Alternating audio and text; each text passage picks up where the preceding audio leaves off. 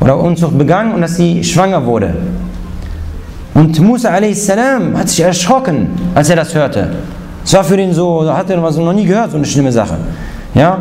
Er hat sich erschrocken und er sagte zu ihr, geh hinaus aus meinem Haus, denn ich, ich fürchte, dass Feuer auf uns herabkommt. Du hast so Schlimmes begangen, so eine schlimme Sache gemacht.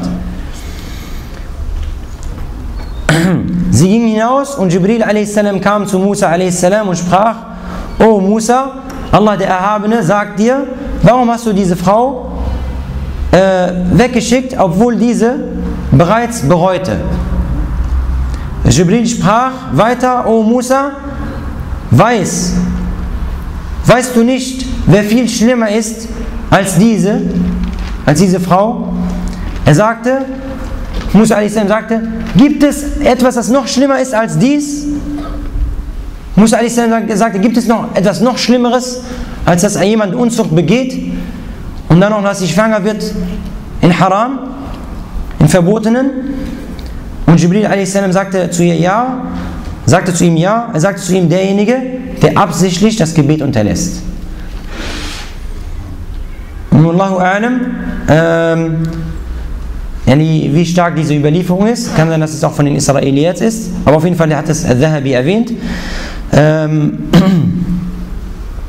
und ihr kennt auch den Hadith vom Propheten, der sehr, sehr wichtig ist in diesem, in diese, in diesem Bereich oder in diesem, äh, in diesem Vortrag über, diesen, über dieses Thema, dass der Prophet sagte, dass der, dass das Erste, wonach, wonach der, der, der, der Diener Allahs am Tag der Auferstehung gefragt wird, oder befragt wird von Allah wird das Gebet sein.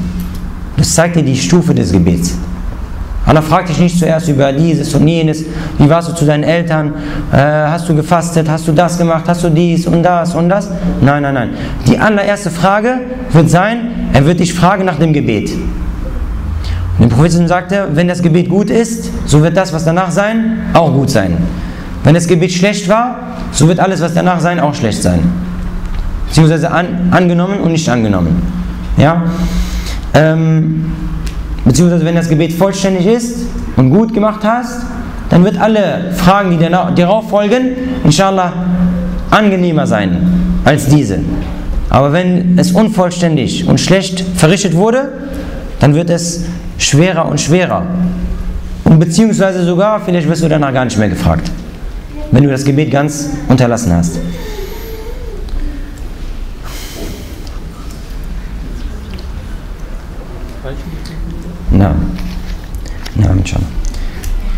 Und als letztes, und inshallah, ihr wisst natürlich, dass es in dieser Sache eine Meinungsverschiedenheit gibt bei den Gelehrten.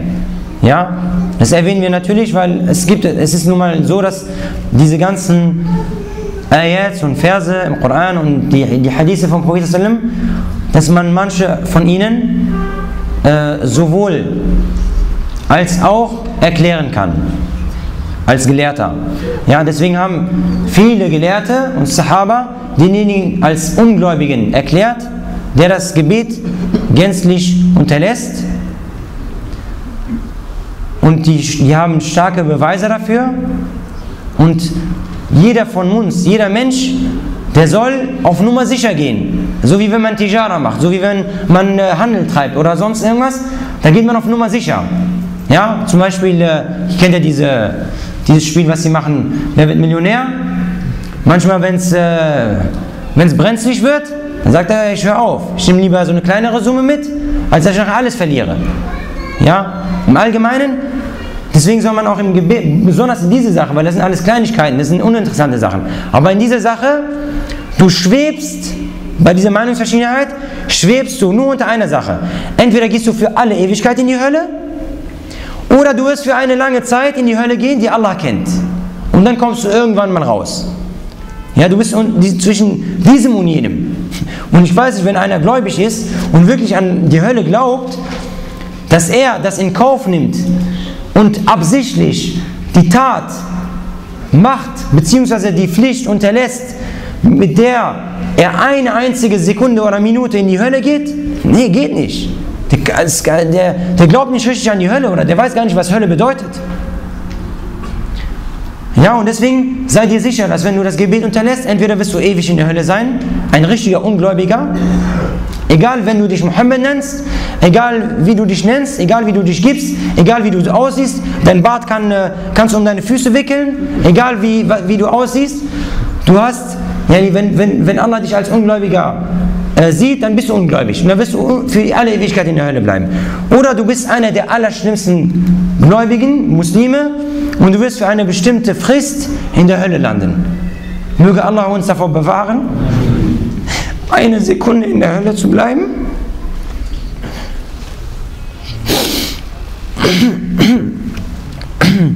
ähm, inshallah als letztes, inshallah noch ganz, noch, ganz kurz noch, an, die, an diejenigen, die die Gebete zu Hause verrichten. An diejenigen, die die Gebete zu Hause verrichten, dass sie auch Allah fürchten sollen. Wofür wurden die Gebetshäuser Allahs äh, gebaut, subhanallah? Wofür? Wenn man das Gebet zu Hause verrichtet. Und schaut auf die Belohnung, subhanallah. Und rechne mit dir selbst ab in diese Sache.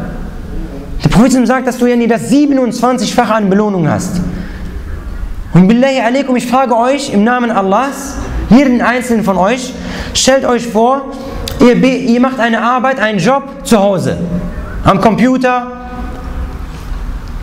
oder äh, ihr, die Frau muss nähen oder eine bestimmte Arbeit, die man zu Hause macht. Und der Chef, dein Chef bietet dir 1000 Euro an, wenn du dieses, diese Arbeit zu Hause äh, machst, ja? Er bietet dir 1000 Euro an. Für die gleiche Arbeit für die gleiche Zeit bietet dir dein Chef das 27-fache an. 27.000 Euro. Aber du musst diese Arbeit in der Firma machen. Ich frage euch im Namen Allahs, würde irgendeiner von euch diese Arbeit dann zu Hause machen? Niemals. Und das ist ein kleines Beispiel. Das Gebet ist, man kann das nicht vergleichen. Unvergleichlich. Deswegen Allah macht dir ein Riesenangebot dass dein Gebet das 27-fache an Belohnung ist. Und normalerweise, die Gebete zu Hause sind für die, ist für die Frau, die zu Hause mit den Kindern ist. Und nicht für den Mann. Und über Abu Huraira überliefert, im Hadith auch bei Sahih Muslim, dass ein Blinder, ein Blinder kam zum Propheten und sagte zu dem O Gesandte Allahs, ich bin blind und ich habe keinen, der mich zur Moschee führt. Ich kann nicht sehen. Kannst du für mich, kannst du für mich einen Ausweg finden, eine Entschuldigung finden in der Religion, sodass ich das Gebet zu Hause verrichte? Er sagte zu ihm am Anfang kurz, ja. Danach rief er den, den blinden Mann zurück und sagte zu ihm, oh du blinder Mann, hörst du den Gebetsruf? Dann sagte er zu ihm, ja. Gesandter Allahs. Dann hat er zu ihm gesagt, dann musst du zur Moschee kommen. Ein Blinder, er weiß, er findet den Weg nicht zur Moschee, subhanallah, und für ihn ist es Pflicht, zur Moschee zu kommen. Wie ist er dann mit, mit dir und mir, subhanallah? Wir haben Augen, wir haben ein Auto, wir haben Moscheen um uns herum. Du hast die Kraft dafür, du kriegst so viel Belohnung. Und das Gebet schmeckt auch anders. Ihr wisst das, jeder weiß es selbst. Das Gebet ist doch nicht gleich, wenn du zu Hause schnell betest, so schnell, schnell. Und das Gebet in einer Gemeinschaft, in einer großen Reihe. Die Demut ist größer und stärker. Subhanallah ist unvergleichlich.